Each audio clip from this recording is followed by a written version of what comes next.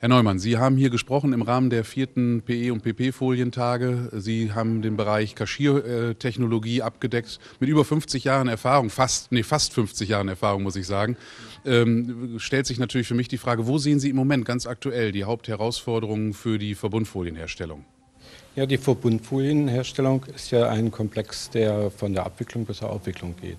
Und in den einzelnen Stufen der Vorbereitung der Folie zur Beschichtung ist nach der Trocknung natürlich die Kaschierung äh, gefragt, ob das äh, dann vor der Trocknung die Nasskaschierung wäre oder nach der Trocknung die Trockenkaschierung. Heißt natürlich auch äh, das Endprodukt in einer hohen Gleichmäßigkeit in der Verklebung der beiden Lagen zueinander zu schaffen. Und da geht es insbesondere darum, die entsprechenden Folien auszuwählen, die entsprechenden zwei oder drei Walzenkaschiersysteme in äh, Anwendung zu bringen mit den entsprechenden Oberflächen, die Walzen zu temperieren, die Antriebe einzuschalten und auf Vor- oder Nacheilung einzuwirken, auf Curl oder auf äh, Verzug innerhalb der beiden Lagen, die zueinander geführt werden.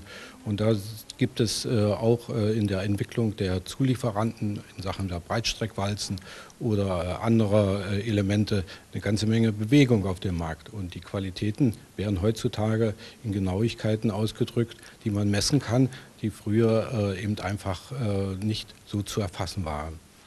Sie haben sehr viele Punkte jetzt genannt und in Ihrem Vortrag ein Spannungsdreieck geschildert. Können Sie uns das näher erläutern?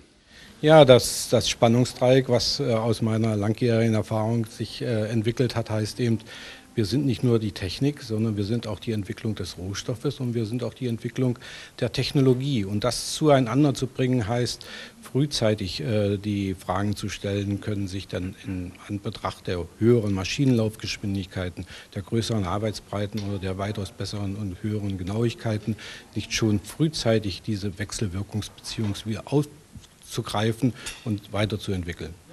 Wenn Sie einem Kaschierer einen Rat geben äh, sollten und Sie hätten nur einen Rat frei, welcher Rat wäre das äh, bei der Auslegung einer neuen Anlage?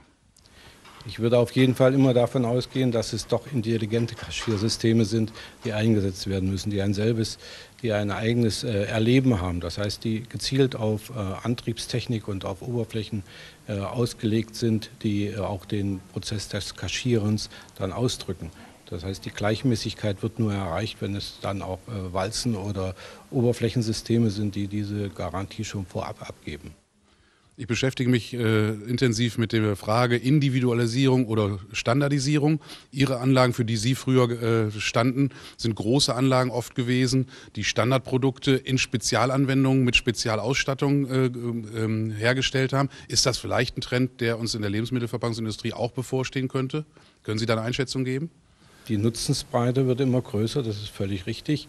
Man redet heute schon über drei- und vierfachen Nutzen und damit geht man in die Arbeitsbreite. Und mit Arbeitsbreite kommen natürlich weitere Mängel dann auf äh, eine Fertigung einer Kaschiertechnologie zu, die man von vornherein ausschließen muss. Man muss natürlich dann auch die Anlage so stabil und sicher gestalten, dass die äh, Qualität der zusammengeführten Lagen äh, exzellent die Anwendung ausmacht. Herzlichen Dank fürs Gespräch. Bitteschön.